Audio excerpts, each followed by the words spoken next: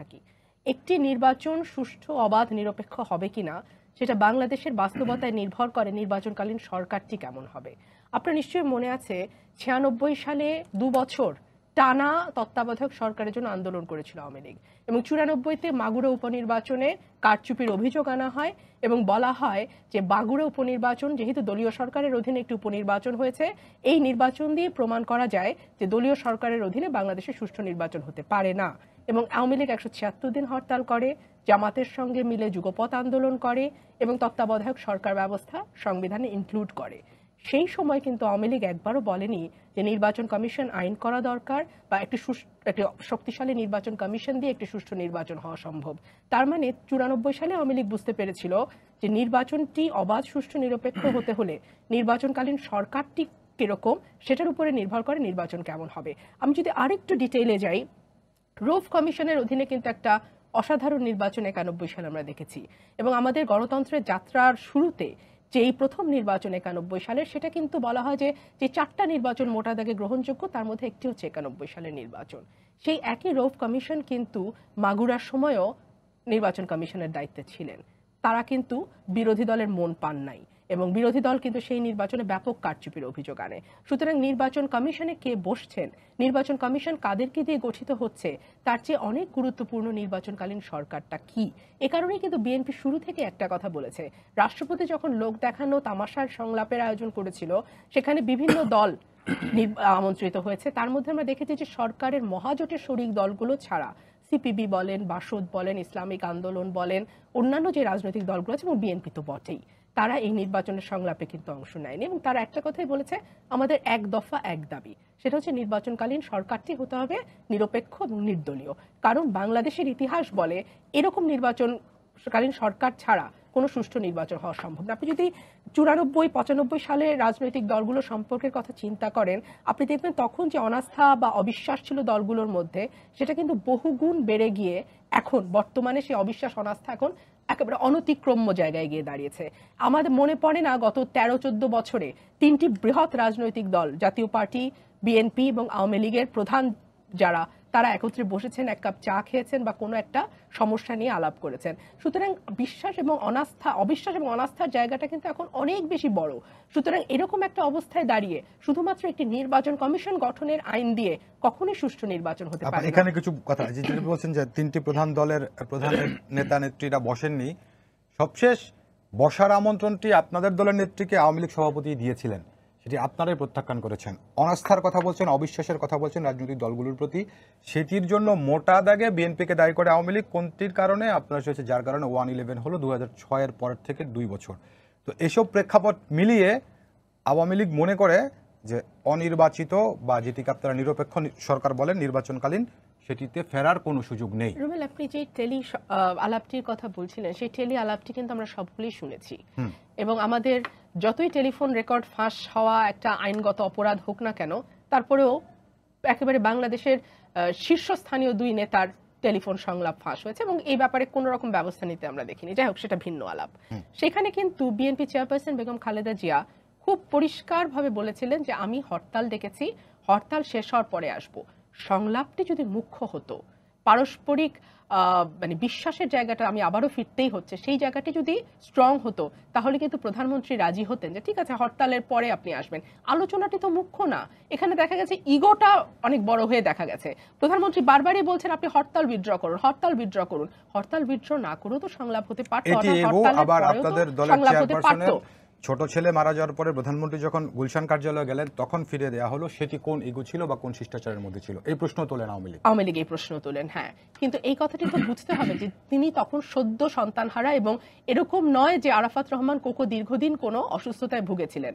সেই সময়ে সেখানকার অফিসের যে পরিবেশ, সেখানে প্রধানমন্ত্রীর আসা বা না আসার সেই সেই খবরটি দেশনেত্রী বেগম খালেদা জিয়ার কান পর্যন্ত পৌঁছায়নি তিনি সেই অবস্থায় ছিলেনও না। অ্যাকচুয়ালি তাকে ইনজেকশন দিয়ে ঘুম পাড়িয়ে রাখা হয়েছিল।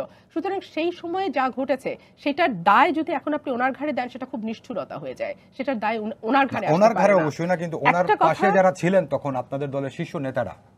দেখুন এখানে আমি সেটাই তো বলছি যদি সদিচ্ছাটা মুখ্য হয় যদি দেশ এবং জনগণের কল্যাণের ইচ্ছাটা মুখ্য হয় তাহলে কিন্তু হরতালের পরেও সংলাপ হতে পারে। একটা বিষয় আপনি ওয়ান ইলেভেনের প্রসঙ্গ তুলেছেন। ওয়ান ইলেভেনকে আওয়ামী লীগ সবসময় দাবি করে তাদের আন্দোলনের ফসল। এবং ওয়ান ইলেভেন যারা ঘটিয়েছেন সেই কুশীলবদের বিচার হওয়া তো অনেক পরের কথা। তাদেরকে প্রাইস পোস্টিং দিয়ে দেশের বাইরে পাঠানো হয়েছে। তাদের কাউকে কাউকে সংসদেও নিয়ে আসা হয়েছে। সুতরাং তাদের সমস্ত পেট্রোনাইজ কিন্তু আওয়ামী লীগই করেছে। তাদের আন্দোলনের ফসল তাদেরকে পেট্রোনাইজ আওয়ামী লীগ করেছে। এবং এখানেই শেষ নয়। আওয়ামী লীগ তাদের যে আপনার ইয়ে হয়েছিল ওথ টেকিং অনুষ্ঠান হয়েছিল শপথ গ্রহণ অনুষ্ঠান সেখানেও আওয়ামী লীগ উপস্থিত ছিল। বিএনপি কিন্তু সেখানে যায় নাই। সুতরাং এখন ওয়ান ইলেভেনের ঘাড়ে দোষ চাপালে তো হবে না। আর তত্ত্বাবধায়ক সরকারের ক্ষেত্রে সবসময় আদালতের ঘাড়ে বন্দুক রাখা হয়। আদালতের অবজারভেশন পরিষ্কার বলছে সংসদ চাইলে পরবর্তী দুটি নির্বাচন আদালতকে বাইরে রেখে তত্ত্বাবধায়ক সরকারের অধীনে হতে পারে। এখন সংবিধান সংশোধন যে কমিটি বসেছিল সেখানে আওয়ামী লীগের যিনি প্রতিনিধি ছিলেন এখানে লিড দিয়েছেন? সুরঞ্জিত সেনগুপ্ত এবং সাজেদা চৌধুরী। সেখানে কিন্তু আওয়ামী লীগ দল হিসেবে সেই সংলাপে অংশ নিয়েছে অর্থাৎ সেই কমিটির সামনে গিয়ে তারা পরিষ্কারভাবে বলে এসছে তত্ত্বাবধায়ক সরকারের ব্যাপারে তাদের কোনো আপত্তি নেই। অথচ সংসদে যখন এই বিলটা আসলো তখন কেন ওয়ান এইটি ডিগ্রি ঘুরে গিয়ে আওয়ামী লীগ সংবিধান থেকে তত্ত্বাবধায়ক সরকার উঠিয়ে দিয়েছে সেটা তো আজকে জনগণের কাছে খুব স্পষ্ট। দু হাজার চোদ্দ এবং দু হাজার আঠেরো নির্বাচনের পরে এখানে নিয়ে আর দ্বিতীয় কোনো প্রশ্ন তো নাই? মিস্টার রুমিন ফার্নার বক্তব্য শুনছেন। মূল বিষয়টি হচ্ছে বিএনপি মনে করে নির্বাচন কমিশন গঠন বা নির্বাচন কমিশনের জন্য আইন গঠন ইত্যাদি বিষয় নয় বিষয় হচ্ছে নির্বাচনকালীন সরকার। এবং তিনি উদাহরণ দিচ্ছেন সেই মাগুরা নির্বাচন থেকে শুরু করে সবশেষ দু হাজার আঠারো নির্বাচন পর্যন্ত। আপনাকে ধন্যবাদ। একটি সংগঠন যখন সময়ের পথ পরিক্রমায় এগিয়ে যায়, তখন তার আত্মপলব্ধি হয় এবং চৈতন্যের কালাতীত পরিব্যাপ্তি ঘটে। তা আমাদের বিএনপির ক্ষেত্রে কিন্তু সেটা আদৌ দেখা যায় না, বরঞ্চ উল্টোটা হয়। গল্পের শুরুটা হচ্ছে একানব্বই সালের নির্বাচন, তার পরবর্তীতে মাগুরার উপনির্বাচন। গল্পটা বলছি এ কারণে, মনে রাখা দরকার, নব্বইয়ের ছাত্র গণ আন্দোলনের প্রেক্ষিতে স্বৈরাচার বিরোধী যে আন্দোলনের রেখা শুরু হয়েছিল, সেই পথ পরিক্রমায় তিন জোটের রূপরেখা হয়েছিল। এবং স্পষ্ট করে বলা হয়েছিল, পরপর তিনটি নির্বাচন তত্ত্বাবধায়ক সরকারের অধীনে অনুষ্ঠিত হবে। যেহেতু বিএনপি একানব্বই সালে সরকার পরিচালনার দায়িত্বে এসে তারা যেহেতু কোনো কিছুই উদ্যোগ গ্রহণ করেনি এবং ছাত্র সমাজের দশ দফার কথা বলি আর যেটাই বলি না কেন কোনো কিছুই যখন তারা সেভাবে কার্যকরী হয়নি তখন বিরোধী দলকে কিন্তু মাঠে নামতে হয়েছিল। এবং এটা বাধ্য হয়ে নামা। এবং খেয়াল করে দেখবেন উনিশশো ছিয়ানব্বই সালে দশই জুন এই তারিখটা কথা এখনও মনে আছে জাতির উদ্দেশ্যে আজকের প্রধানমন্ত্রী শেখ হাসিনা তিনি একটি ভাষণ দিয়েছিলেন বেতার টেলিভিশনে। সেই ভাষণে তিনি উল্লেখ করেছিলেন যে আমাদের দুর্ভাগ্য যে সংসদে দুটি দল, রাজনৈতিক দল, সংসদের ভিতরে চুক্তি করেছিল যে গণ আদালতের চব্বিশ জন যে ব্যক্তি যে তাদের বিরুদ্ধে বিনা কারণে অনৈতিকভাবে মামলা করা হয়েছে এবং সেটা রাষ্ট্রদ্রোহিতার মামলা, সেই মামলার প্রত্যাহার হবে। প্রিয় জনগণ, আপনারাই ভাবুন যে সংসদের ভিতরে যে চুক্তিটি হয়, সেই চুক্তি যারা লঙ্ঘন করে, তাদের সাথে রাজনৈতিক পথ পরিক্রমা এগিয়ে যায় কীভাবে? এটা আমাদের জন্য দুর্ভাগ্য। এই জন্য আমি বলেছিলাম, এই চৈতন্যের কালাতীত যে পরিব্যাপ্তি, সেটা বিএনপির ক্ষেত্রে কখনোই ঘটেনি। এবং ব্যারিস্টার রুমিন ফারনা যেটা বললেন যে নির্বাচনে কতদিন হরতাল ডেকেছিল, সেই হরতালের পরিপ্রেক্ষিতে তত্ত্বাবধায়ক সরকারের বিল পাশ করেছিল, সেটা অবশ্য বলেননি। সেই বিল গভীর রাত্রে সংসদ বসিয়ে এই বিলটি পাশ করতে বাধ্য হয়েছিল বিএনপি। এটা তো সবার জানা ইতিহাসে। কিন্তু দুঃখজনক যে ঘটনাটি, সেই যে তত্ত্বাবধায়ক সরকারের যে কথা রাখা, যে পরপর তিনটি নির্বাচন হইবে, সেই তিনটি নির্বাচন কিন্তু হয়েছে। ছিয়ানব্বই হয়েছে দুই হাজার একে হয়েছে, দুই হাজার আটে হয়েছে। এবং তত্ত্বাবধায়ক সরকার ব্যবস্থাপনার যে সর্বনাশ, সেই সর্বনাশটা কিন্তু বিএনপির হাত দিয়ে ঘটেছে। এবং লতিফুর রহমান সরকার, যে তত্ত্বাবধায়ক সরকার যখন দায়িত্ব নেয় দু হাজার এক সালে, আপনি খুব ভালো করে জানেন যে আজকের প্রধানমন্ত্রী শেখ হাসিনা তিনি দায়িত্ব হস্তান্তর করে আসার কয়েক ঘণ্টার মধ্যে বাংলাদেশের প্রশাসনিকভাবে কিংবা উলট পালট ঘটনা ঘটলো, সেটা না গেলই। এবং প্রধানমন্ত্রী যখন গণভবনে ফিরে আসলেন, তখন তার টেলিফোনের সংযোগ বিচ্ছিন্ন করে দেওয়া হলো। তার চেয়ে বড় ব্যাপার, যখন দুই হাজার ছয় সালে যখন আওয়ামী লীগ সহ সবকটি বিরোধী দল যখন আন্দোলনে রত, তখন সেই অবস্থায় বাংলাদেশের প্রেক্ষাপট কি রচিত হয়েছিল? এবং সেখানে প্রফেসর ইয়াজউদ্দিন রাষ্ট্রপতি থাকা অবস্থায় তিনি নিজেই তত্ত্বাবধায়ক সরকারের দায়িত্ব নিয়ে ফেললেন এবং খুব পথ ডিঙিয়ে পথ টপকিয়ে আপনি আটান্নর গধারা সেই গধারা স্পষ্ট করে বলা ছিল যদি আপিল বিভাগের বিচারপতির যিনি জ্যেষ্ঠ বিচারপতি তার আগের যে কথাগুলো ছিল তখন বিচারপতি মাহমুদুল আমিন চৌধুরীকে কিন্তু কোনো কোনো অফার করা হয়নি। তা না করেই চলে গেলেন সেই ইয়াজউদ্দিন সাহেব নিজেই রাষ্ট্রপতি তিনি তত্ত্বাবধায়ক প্রধান হয়ে গেলেন। অর্থাৎ গন্ডগোলের সূত্রপাত কিন্তু বিএনপি হয়েছে। কিন্তু দাদা একটি প্রশ্ন সেটা হচ্ছে ধরেন আমি প্রশ্ন করার আগে একটা যোগ করি। জি। এই যে তত্ত্বাবধায়ক সরকার ব্যবস্থাপনার দাবিতে আওয়ামী লীগের নেতৃত্বে বাংলাদেশের যে আন্দোলন হয়েছিল সেই আন্দোলন মনে রাখবেন জাতীয় ঐক্যমত সৃষ্টি করতে পেরেছিল আওয়ামী লীগ।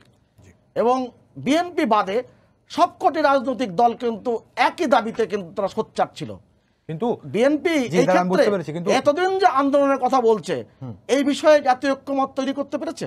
অবশ্যই রাখতেই পারি বিএনপির প্রতি কিন্তু যেটি হচ্ছে চারটি নির্বাচনকে সুষ্ঠু বলেন। বেস্টার রুমিন ফারানা বলছেন আরও অনেকেই বলেন একানব্বই অস্থায়ী সরকারের অধীনে আর বাকি তিনটি নির্বাচন হচ্ছে তত্ত্বাবধায়ক সরকারের অধীনে।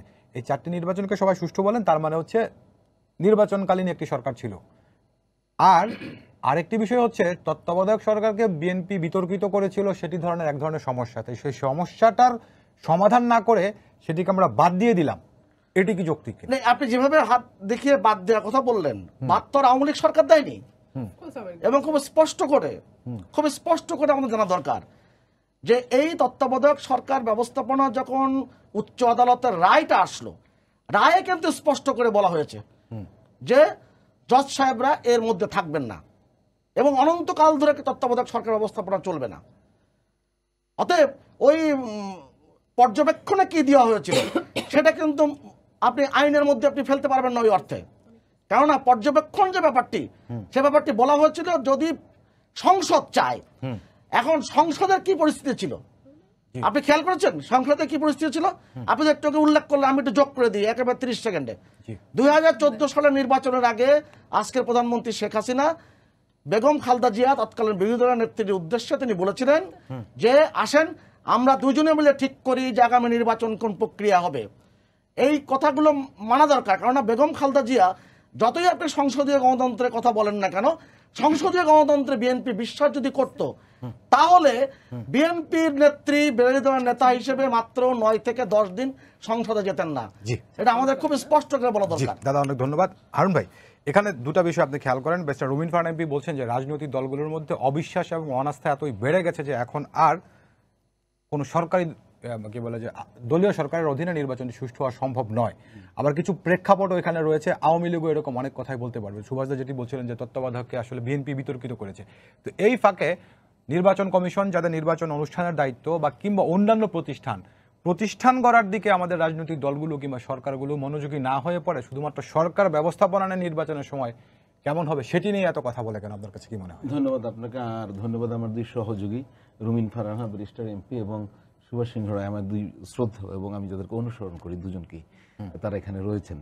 তো আপনি তো দুজনের তো আলোচনা শুনছেন তো সেটা ক্ষেত্রে কিন্তু খুব স্পষ্টই মনে হয় যে দুটি দলই পরস্পর বিরোধী তাদের তাদের কোনো জায়গায় ঐক্যমতের কোনো জায়গা নেই এটা খুব স্পষ্ট। এই আলোচনা থেকেই কিন্তু একটা খুব স্পষ্ট জায়গা। এখন যেটা আপনি যে প্রশ্নটা করেছেন যে এই ঐক্যমতের জায়গাটা কোথায় তৈরি হবে এবং একটি নির্বাচনকালী সরকার এবং একই সঙ্গে প্রাতিষ্ঠানিকভাবে এটা কি হবে?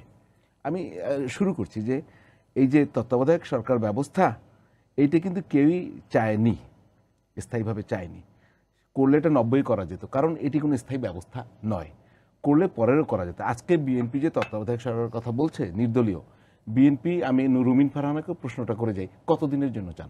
আমি কিন্তু বারবারই এই প্রশ্নটি করছি যে কত টার্মের জন্য চান? মানে এটি হচ্ছে এটি হচ্ছে যে- যে কোনো দলের ক্ষমতায় যাওয়ার একটা রাস্তা তৈরি করা। এখন পরবর্তীতে যে তাদের যা করার তা করবেন। এই জন্যই আমি বারবার বলি প্রতিষ্ঠানগুলোকে শক্তিশালী করা দরকার। সেই শক্তিশালী করার আলোচনায় বিএনপি যোগ দিল সংসদে। কিন্তু ওখানে গেল না। ওখানে যারা গিয়েছেন রাষ্ট্রপতির সাথে সংলাপে, তাদের এইটি পার্সেন্ট দলই যারা গেছেন, তারা বলছেন একটি নির্বাচন কমিশন আইন। তো নির্বাচন কমিশন আইন যেটা হয়েছে, সেটি আমার ব্যক্তিগতভাবে পছন্দ হয়নি। আমি আপনাকে বলি, যেটি যদি আরও সময় নিয়ে, সময় নেওয়া যেত, অথবা এই অল্প সময়ে নির্বাচন কমিশন করা যাবে না আইন, তা আমি মনে করি না। আলোচনার জায়গাটি আর স্পষ্ট করা যেত এবং সেটি হতো যদি বিএনপি ওইখান থেকে শুরু করতো, রাষ্ট্রপতির সাথে গিয়ে শুরু করতো। কারণ বিএনপি সংসদে আলোচনা করছে নির্বাচনকালীন সরকার নিয়ে, তারা কিন্তু প্রচুর, তারা প্রচুর কিন্তু ইও দিয়েছে, তাদের সংশোধনী বা ই ওখানে দিয়েছে। তো সেটি দিলে আবার কিন্তু আপনি যদি এখন বিএনপি কিন্তু বৃহত্তর জোট গঠনের প্রক্রিয়া শুরু করেছে, এটি আপনি জানেন যে ভার্চুয়াল বৈঠক অলরেডি সিদ্ধান্ত হয়ে গেছে, এখন বিশ দল মানে জামায়াত বিএনপির নেতৃত্বে বিশ দল, বিএনপি জামায়াতের নেতৃত্বে বিশ দল আঠারো সালের মানে জাতীয় ঐক্যফ্রন্ট এবং আরও যারা আসতে চায় তাদের এক দফা, এক দাবি যে সরকারকে চলে যেতে হবে এবং নির্দলীয়, নিরপেক্ষ সরকার অধীনে নির্বাচন দিতে। তো এই যে আলোচনা এখন বিএনপি নির্বাচন কমিশন নিয়ে করছে, বিএনপি সে আলোচনার জায়গায় নেই। তারা এখন আছে একদলীয় সরি নির্দলীয়, নিরপেক্ষ সরকারের জন্য। তো বিএনপি এখন সেই লাইনে যাক। কিন্তু এটি তো আসলে এরকম মুখোমুখি দিয়ে হবে না। কিন্তু দাদা আবার বলছিলেন যে তখন যে তত্ত্বাবধায়ক এসেছিল সকল রাজনৈতিক দলের ঐক্য ছিল। তো এখনও বিএনপির দাবির সঙ্গে বিএনপি তেরো বছর ধরে বলছে সেটি বিএনপি কতটুকু ঐক্যমত তৈরি করতে পেরেছে কতটুকু জনমতের চাপ তৈরি করতে পেরেছে সরকারের এই এই ঐক্যমত কতটুকু তৈরি করেছে চাপ কতটুকু সৃষ্টি করতে পেরেছে এটি তো আখেরেই প্রমাণ হবে। আমি তো জরিপ করি না আর আমি তো দেখিও না। যদি বিএনপি ঐক্যমত সৃষ্টি করতে পারে জনগণের প্রবল চাপ সৃষ্টি করতে পারে এটি বাংলাদেশের বারবার ইতিহাস তারা আদায় করে নিতে পারবে। তারা তো বারো তেরো বছর ধরে চেষ্টা করছে সামনে আরও সময় আছে। যদি সেটা পারে তাহলে তারা তো জয়ী হবে। আমরা সেই দেখার অপেক্ষায় আছি। কিন্তু আমার যেটা প্রশ্ন, সেটা হচ্ছে ঐক্যমত হওয়া বাংলাদেশে খুব কঠিন একটি জায়গা। ইস্যু ভিত্তিক ঐক্যমত হয়। কারণ আমি একটু পুরনো মনে হবে, বাংলাদেশে যে রাজনীতি, এই রাজনীতিতে পরস্পর বৈপরীত্য থাকবে কারণ এখানে হচ্ছে ধ্বংসের রাজনীতি। কীরকম আপনি বলেন, আপনি যদি খুব সংক্ষেপে বলি, এখানে আপনি যদি পঁচাত্তরই পনেরোই আগস্ট জাতির জনক বঙ্গবন্ধু শেখ মুজিবুর রহমানকে হত্যা তারপরে যদি আপনি দেখেন যে একুশে আগস্টের গ্রেনেড হামলা এবং একাত্তরের মুক্তিযুদ্ধ, এই তিনটা প্রেক্ষাপটকে যদি মিলান, তাহলে খেয়াল করবেন বাংলাদেশের রাজনীতিতে কিছু আনসেটেলড ইস্যু রয়ে গেছে। অর্থাৎ এখানে কিন্তু খুবই স্পষ্ট যে একটি দলের মানে বঙ্গবন্ধু তার পরিবারের সদস্যদের দীর্ঘদিন ধরে হত্যা করার একটি চেষ্টা করা হয়েছে। এখন ধরেন আমি যদি মনে করি, রোমেল, আপনি আমাকে বারবারই হত্যা করতে চাইবেন, তাহলে আমি আপনাকে স্পেস দেব না। এখানে বিশ্বাসের কোনো জায়গা নাই রোমেল, যেখানে জীবন মৃত্যুর প্রশ্ন। সেই জায়গাটি তৈরি করতে হবে।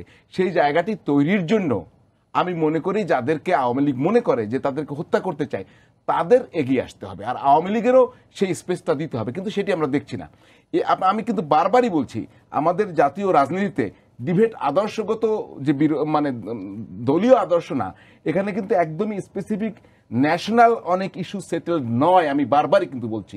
তাই যদি হতো, তাহলে যুদ্ধাপরাধীদের বিচারের সময় সেই বিচার পণ্ড করার জন্য তো জামাত কাজ করতে পারে না। বিএনপিও তাদের সাথে একমত পোষণ করতে পারে না। এবং তারা এই সমস্ত করে তখন তো স্পষ্ট হয়ে গেছে। অর্থাৎ এই ইস্যুগুলো সেটেলড হতে হবে।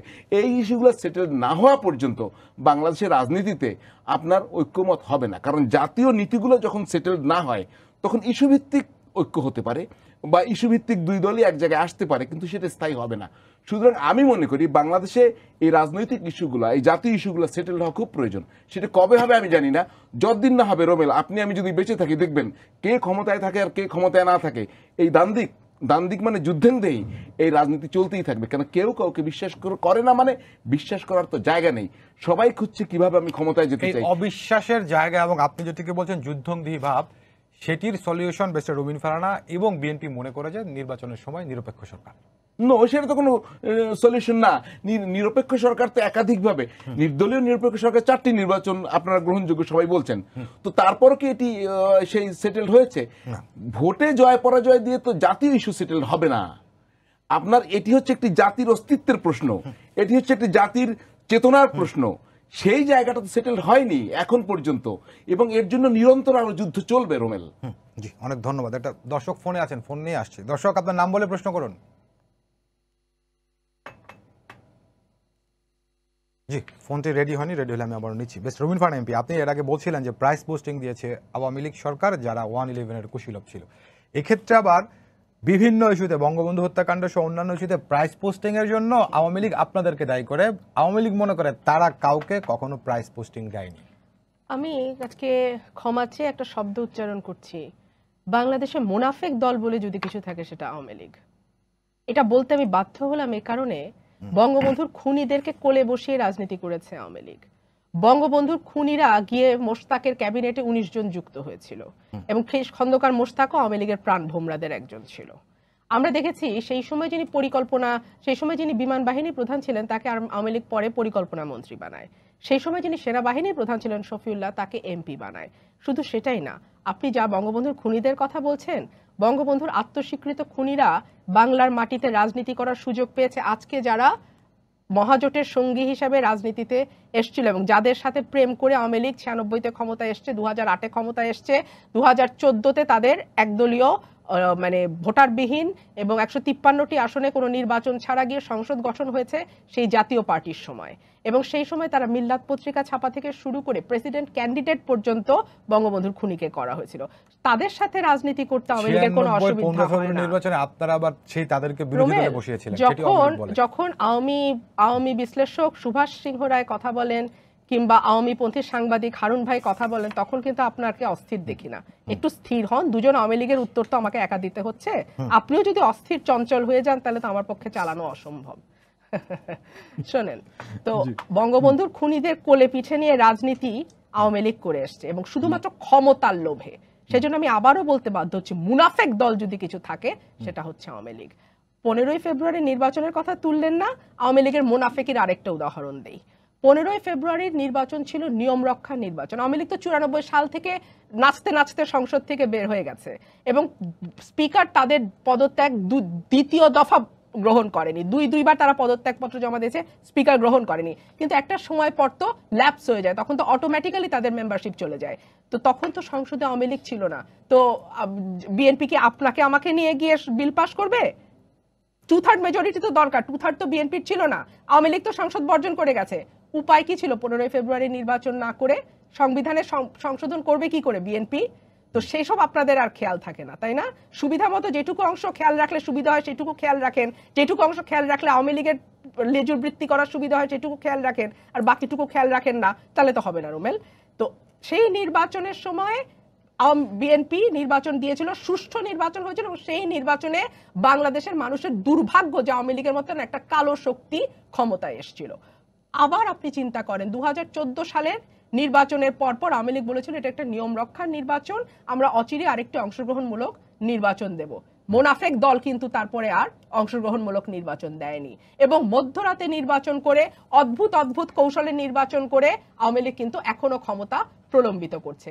এবং দু হাজার আঠারো সালের নির্বাচন সম্বন্ধে একটা তথ্য শুধু দেই, দুইশো কেন্দ্রে দুশো তেরোটি কেন্দ্রে আমাদের হিসাব দেখাচ্ছে, তাতে দেখা যাচ্ছে যে পাঁচশো সাত সরি দুশো তেরো না, পাঁচশো সাতাশিটা কেন্দ্রে সব ভোট পেয়েছে আওয়ামী লীগ। আর একটা কেন্দ্রে সব ভোট পেয়েছে বিএনপি। একইভাবে এগারোশো চুয়াল্লিশটা সম্ভবত কেন্দ্রে একটি ভোটও বিএনপি পায় নাই।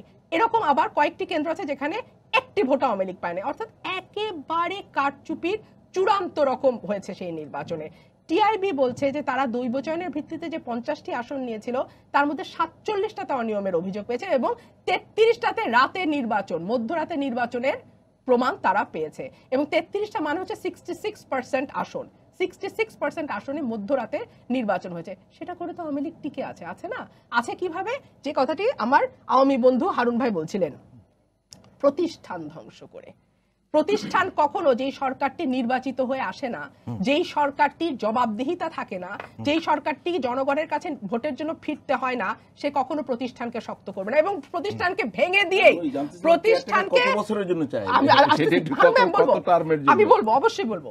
সেই প্রতিষ্ঠানকে ভাঙার উপরেই তো টিকে থাকতে হবে একটা কর্তৃত্ববাদী সরকারকে না হলে তো সে টিকতে পারবে আজকে যদি জুডিশিয়ারি স্বাধীন হয় জুডিশিয়ারি আওয়ামী লীগকে থাকতে দেবে না। আজকে যদি নির্বাহী বিভাগ স্বাধীন হয়। আজকে যদি বিচার বিভাগ স্বাধীন হয় আজকে যদি পার্লামেন্ট স্বাধীনভাবে চলতে পারে তাহলে তো একটা কর্তৃত্ববাদী সরকার থাকে না। আজকে যদি মানব মানবাধিকার সংস্থা বলেন তথ্য কমিশন বলেন দুদক বলেন এই প্রতিষ্ঠানগুলো প্রশাসন বলেন এরা যদি স্বাধীন এবং রাষ্ট্রের কাছে জবাবদিহিতা মূলক হয় তাহলে তো আওয়ামী লীগ বা কর্তৃত্ববাদী সরকারের পক্ষে টেকা সম্ভব নয়। সুতরাং তারা কাঠামোকে ভেঙে ফেলবে এবং বাংলাদেশের রাষ্ট্র কাঠামো ভেঙে ফেলা হয়েছে। মতদ্বৈততা বা পারস্পরিক যেই মত মত বিরোধিতার কথা বলছিলেন। আমি একটু মনে করিয়ে দেই, বালুর ট্রাক দিয়ে আপনারা বিরোধী দলীয় নেত্রীকে আটক করে রাখেন নাই। আপনারা তার অফিসের phone line electricity line gas line পানির লাইন সমস্ত সংযোগ বিচ্ছিন্ন করে দিয়ে তাকে অফিসে অবরুদ্ধ করেন নাই। আপনারা বিরোধী দলীয় নেত্রীকে বিরোধী দলের নেতা থাকা অবস্থায় বাসা থেকে বের করে দেন নাই এবং কীভাবে আপনারা বের করেছেন সেটা তো গণমাধ্যমে দেখিয়েছে। আমরা সতেরো কোটি মানুষ সেটার সাক্ষী। সুতরাং বিরোধী দলের উপর নিপীড়ন কত প্রকার ও কি এটা তো আওয়ামী লীগ দেখিয়েছে। এবং গুম আর বিচার বহির্ভূত হত্যার আন্তর্জাতিক স্বীকৃতিও বর্তমান সরকারের বদৌলতে আমরা পেয়েছি। আমার ভাই বলছিলেন কতগুলো টার্ম আমরা চাই, যতগুলো টার্ম পর্যন্ত সুষ্ঠু নির্বাচন দলীয় সরকারের অধীনে এনশিওর হবে না। যতগুলো এবং আরেকটা কথা কি দেখেন? তিন দলীয়? রূপরেখার কথা বলা হয়। তখন কিন্তু যতদিন পর্যন্ত এনশিওর না হয় ততদিন পর্যন্ত দলীয় সরকার অধীনে হবে না।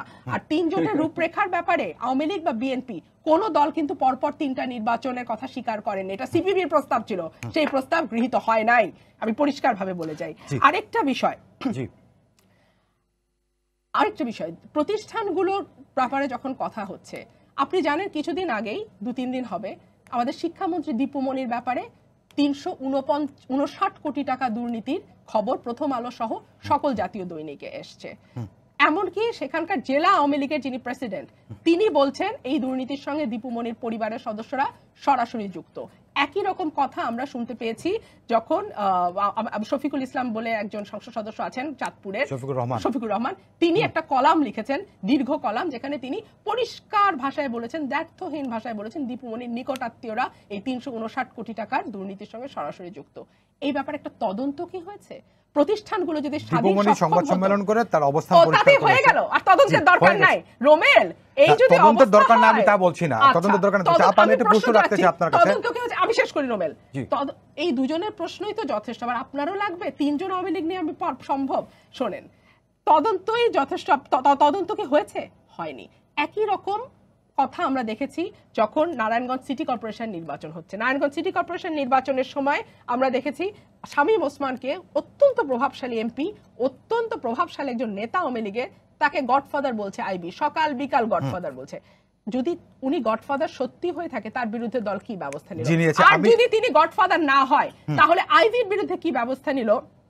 শামীমকে এত বড় একটা অভিযোগ আমি বুঝতে পারছি। আপা আমি যে প্রশ্নটি করতে চেয়েছিলাম পরের বাইরে শুনুন প্রশ্নটি হচ্ছে আপনি সবাই বিএনপি সবাইকে প্রতিপক্ষ মনে কেন রাখেন আওয়ামী বন্দী সাংবাদিক আমাকে মনে করছেন আপনি চঞ্চল। এই প্রশ্ন উত্তরটা আমি জানব তার আগে সুভাষ দাকে শুনতে চাই। সুভাষ দা আমি- আপা আমি শুনব। আমি- সুভাষ দা বাংলাদেশে তো ভোট ব্যবস্থা উঠে গেছে।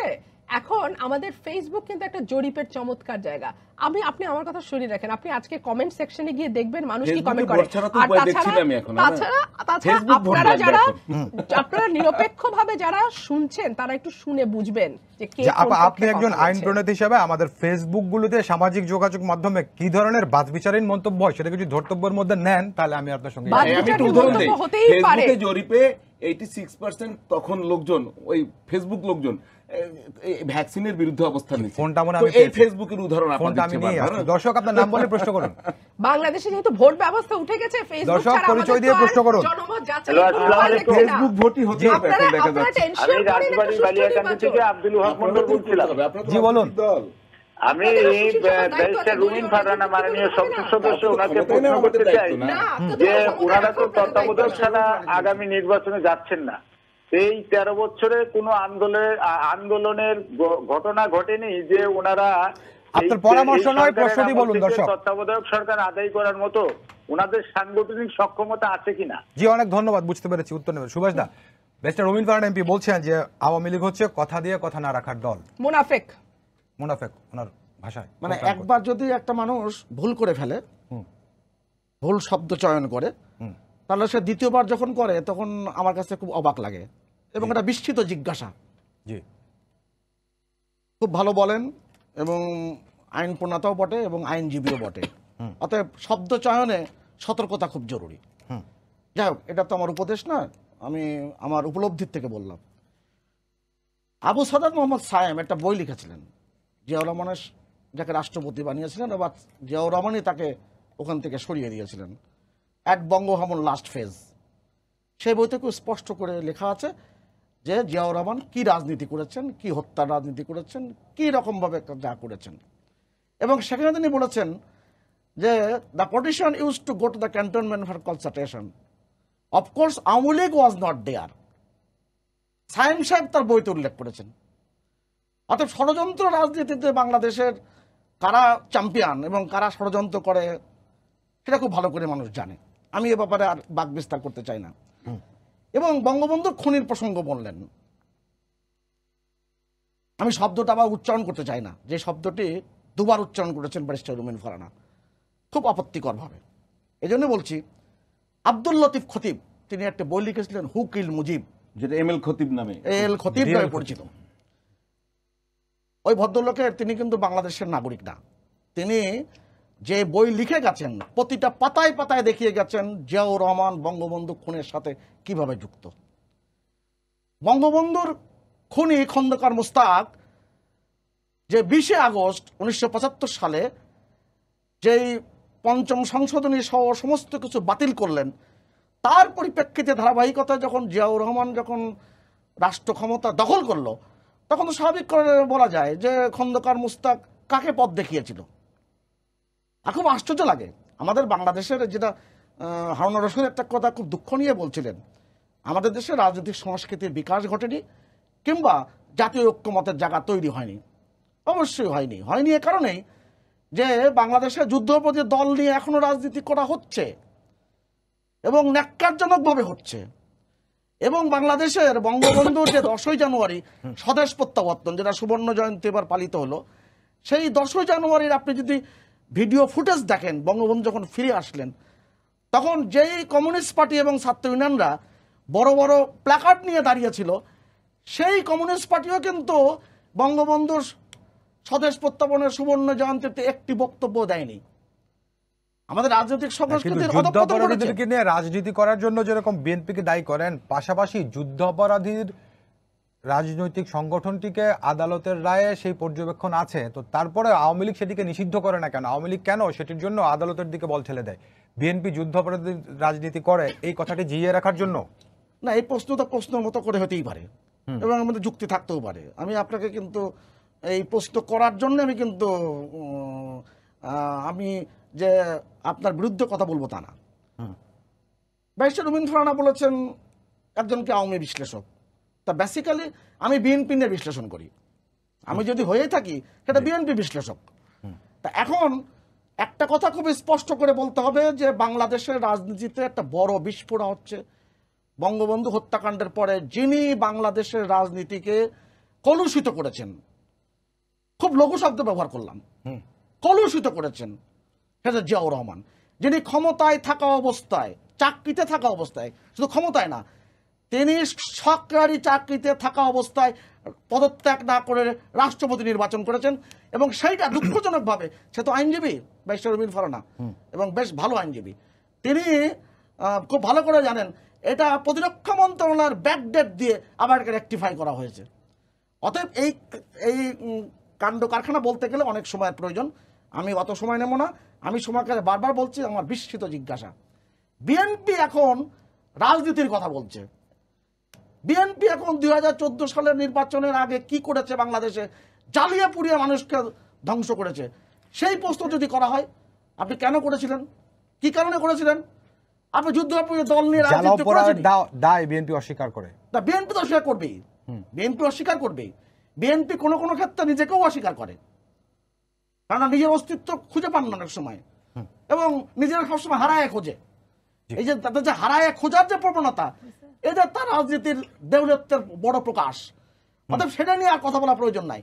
আমি শুধু এইটুকু বলব বঙ্গবন্ধু এবং বঙ্গবন্ধুর রাজনৈতিক দল এবং বঙ্গবন্ধুর হত্যাকাণ্ডে প্রেক- প্রেক্ষাপট নিয়ে কথা বলতে গেলে একটু নেড়ে চেড়ে কথা বলতে হবে। বুঝে শুনে কথা বলতে হবে। ধন্যবাদ। ইন্ডিয়ান অর্ডিন্যান্স কে করেছিল? খন্দকার মুস্তাক? জি। ইন্ডিয়ান আইন পাস করেছিল কে? জিয়াউর রহমান। জিয়াউর হারুন ভাই আপনার প্রশ্নের উত্তরে বেশ রবীন্দ্র এমপি দিয়েছেন যে যতদিন পর্যন্ত রাজনৈতিক দলগুলোর মধ্যে আস্থা এবং বিশ্বাস ফিরে না আসবে ততদিন পর্যন্ত নিরপেক্ষ সরকার লাগবে নির্বাচনের সময়। একটু সংক্ষেপে বলুন ধন্যবাদ। মানে আসলে আমাদের সাংবাদিকদের দুর্ভাগ্য হচ্ছে যখন রুমিন ফারহানাদের বিরুদ্ধে কথা যায় তখন তারা আমাদেরকে অপোজিশন দলের সাংবাদিক মনে করেন। যখন সুভাষ সিংহ রায়দের বিরুদ্ধে যাবে তখন তারা আমাদের রুমিন ফারহানা এটা উদাহরণ কম আছে। না আমি বললাম আর কি উদাহরণ কম দেয়। হ্যাঁ, হ্যাঁ, হ্যাঁ। না। এই যে রুমিন ফারহানা কিন্তু যথেষ্ট বলতে পারেন আপনি খেয়াল করেন তিনি যে কথাগুলো বললেন যদি বলার সাহস না থাকতো সেই যে এখন যেটা বলল এই যে এই যে ভেক টার্ম এই যে ভেক টার্ম বলে যে যতদিন প্রয়োজন পড়বে মানে এগুলো হচ্ছে ভেক টার্ম কতদিন প্রয়োজন পড়বে? এটা তো কেউ বলতে পারে না। সুতরাং আমি বারবারই বলছি যে ওই কতদিন প্রয়োজন পড়বে সেটা না। আপনি এমন একটা সিস্টেম দাঁড় করান যে সিস্টেমে এটা অটোমেটিক ই হবে। যে নির্দলীয় নিরপেক্ষ সরকারের কথা বলা হচ্ছে যারা বিএনপি বলছে এটা কিন্তু এই নির্বাচন কমিশন আইনে এটা সম্ভব ছিল। সম্ভব ছিল। আমরা আরেকটা বিষয় আমাদের রাজনৈতিক দলগুলো যে যখন ক্ষমতার বাইরে থাকে তখন প্রক্রিয়াগুলো নিয়ে পদ্ধতিগুলো নিয়ে যেরকম প্রশ্ন তোলে ক্ষমতায় থাকতে সেই দলগুলো ততটা তোলে না। এটি কেন? না, এটি তো ওই যে যখন যখন আপনি ক্ষমতার বাইরে থাকে তখন তো ধরেন এই যে যতদিন লাগবে ততদিন থাকবে। আবার যখন ক্ষমতায় চলে যায় তখন মনে হয় ক্ষমতা দীর্ঘায়িত করার জন্য এভাবে লাগবে। আমি একটি কথার জবাব দিতে চাই। সেটি মানে এটি পলিটিক্সের বাইরে আউট অফ পলিটিক্স কেননা সবাই তো পলিটিক্স করে। ধরেন রুমিন ফারহানারা চিন্তা করে তারা ক্ষমতায় যেতেই হবে। সুভাষ দ্বারা মনে করে তো ক্ষমতায় আছি। কিন্তু আমি মনে করি যে হবে সেটা বলেন। সেটা তো আহ, জি, হারুন ভাই, আমি- শেষ করি। আমি যেটা বলি যে বঙ্গবন্ধু হত্যাকাণ্ড এবং এর যারা অংশগ্রহণ করেছে এই ঘটনায় এটা নিয়ে বারবার অপব্যাখ্যা ভুল ব্যাখ্যা দেওয়া হয়। রুমিন ফারহান একজন বিদগ্ধ আইনজীবী। একটি বইয়ের কথা বলেছে খতিবের বই। এরকম আরও বই আছে। বঙ্গবন্ধু হত্যাকাণ্ড যখন ঘটে প্রথম কিন্তু একটা মেসেজ দেওয়ার চেষ্টা করেছিল যে বিপদগামী কিন্তু সেনা সদস্য। যখন মার্কিন দলিল চলে আসলো তখন আমরা দেখলাম তখন কানেকশনগুলো বঙ্গবন্ধু হত্যাকাণ্ড ওই দিনের ঘটনা না। এর পেছনে অনেক ঘটনা অনেক জিনিস যুক্ত। সুতরাং এভাবে ব্যাখ্যা করা খুবই অন্যায় বলে আমি। মনে এবং আন্তর্জাতিক গণমাধ্যমে বঙ্গবন্ধুর খুনি দুইজন স্বীকার করেছে জিয়াউর রহমানের নির্দেশে তারা এই হত্যাকাণ্ড করেছেন। জি। দেখুন ভারতে কংগ্রেস এবং বিজেপির সম্পর্ক সাপে নেউলের মতো। সেখানে কিন্তু নির্বাচন আটকে থাকে না। এবং তাদের যে গান্ধীর হত্যাকারী নথুরাম গজ তার বীর বানিয়ে বিজেপি পূজা করে। তাতে কি তাদের নির্বাচন আটকে রয়েছে? সুতরাং দলগুলোর মধ্যে অনাস্থা অবিশ্বাস থাকলেই যে নির্বাচন সুষ্ঠু হতে পারবে না তেমনটি তো নয়। কিন্তু এই অনাস্থা অবিশ্বাস এবং খারাপ সম্পর্কের পরেও যে বিষয়টা মুখ্য হয়ে আসে সেটা হচ্ছে যে কোনোভাবে ক্ষমতায় থাকতে হবে। আজকে হারুন ভাই এখানে আছেন, আমি জানি তিনি ইন্টারন্যাশনাল যেই ডয়সে ভ্যালে একেবারে আন্তর্জাতিকভাবে খ্যাতি সম্পন্ন সেখানেও উনি আছেন। ট্রান্সপারেন্সি ইন্টারন্যাশনাল কিন্তু জার্মানিরই একটা সংস্থা। সেই ট্রান্সপারেন্সি ইন্টারন্যাশনাল দুই হাজার ইলেকশন সম্পর্কে বলছে যে এখানে ফোর্টি সেভেন টা আসনে, পঞ্চাশের মধ্যে সাতচল্লিশটা আসনে ব্যাপক অনিয়ম হয়েছে। এটা যদি আপনি শতভাগে কনভার্ট করেন, আসবে ninety four percent ninety four percent আসনে বিভৎস রকম কারচুপি হয়েছে এবং মধ্যরাতে ভোট হয়েছে সিক্সটি সিক্স পার্সেন্ট আসনে। আমি একটু হারুন ভাইকে বিনয়ের সাথে জিজ্ঞেস করি উনি কি দু সালের নির্বাচনকে মানেন? উনি কি মনে করেন দু সালের নির্বাচন যেই সরকারের অধীনে হয়েছে সেই সরকারের অধীনে আরেকটি জাতীয় নির্বাচন হতে পারে? আপনি ভুলে যান জাতীয় নির্বাচনের কথা। ইউপি নির্বাচন চলছে। কি ধরনের নির্বাচন হচ্ছে আপনি আমাকে বলেন?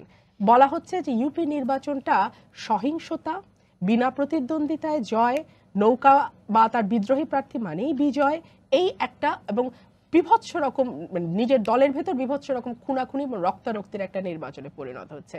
বলা হয় যে লাকসাম কুমিল্লার লাকসাম আর চট্টগ্রামের রাউজান হচ্ছে স্থানীয় সরকারে কি এখন অন্য কোনো মাধ্যম লাগবে নির্বাচনের জন্য? আমি সেটাই বলছি যে যেখানে সরকার পরিবর্তন হবে না যেটি একেবারে লাস্ট টায়ারের নির্বাচন সেখানেও যদি এই অবস্থা দাঁড়ায় তাহলে জাতীয় নির্বাচন কি হতে পারে? এক। দুই হচ্ছে আরেকটা কথা একটা লাইন আমি শেষ করি। ভারতে কিন্তু নির্বাচন কমিশন আইন নেই। আমি জানি এটা দাদা খুব বড় গলায় বলবেন। ইলেকট্রাল ইন্টিগ্রিটি প্রজেক্টে হার্ভার্ডের ইউনিভার্সিটির ইলেকট্রাল ইন্টিগ্রিটি প্রজেক্টে ভারতের মান হচ্ছে উনষাট উপরের দিকে। পাকিস্তানে কিন্তু আইন আছে নির্বাচন কমিশন। তাদের মান হচ্ছে সাতচল্লিশ। আর এই দুর্ভাগা বাংলাদেশের মান হচ্ছে আটত্রিশ। এবং তবু এই মানটা হয়েছে কখন? যখন দু সালের নির্বাচন বিবেচনাতেই নেওয়া হয়নি। আঠারো সালের নির্বাচন বিবেচনাতে নিলে এই মান যে আরও কত কমবে সেটা আল্লাহ। আপনার সামনে একটা কাগজ দেখায় ডেলি স্টারের দুই সালের পয়লা ফেব্রুয়ারিতে। হুম। বেগম খালদা জিয়া তখন একটা প্রবন্ধ লিখেছিলেন ওয়াশিংটন টাইমসে। এই যে thankless role in saving democracy in Bangladesh এখানে তিনি স্পষ্ট করে বলেছেন বাংলাদেশকে জেএসপি সুবিধা দিবেন না। বাংলাদেশের বিরুদ্ধে- পড়ে শুনান তো। বাংলাদেশের এবং বাংলাদেশের বিরুদ্ধে আপনি এক্সাক্ট যারা যেই রাজনীতিটা করেন এবং সেখানে একটা লাইনটি আমি পড়ব? হ্যাঁ। পড়ব গেল। দাদা পড়েন তার আগে সংক্ষেপে আমার তো সময় না সংক্ষেপে লম্বা সময় দিতে হবে। আমি আপনাকে আপনি বলি পুরো article পড়বেন না, না, না, পড়ব কেন? অনেক প্রেক্ষাপট আছে আপনার মূল কথাগুলো বলেন আমি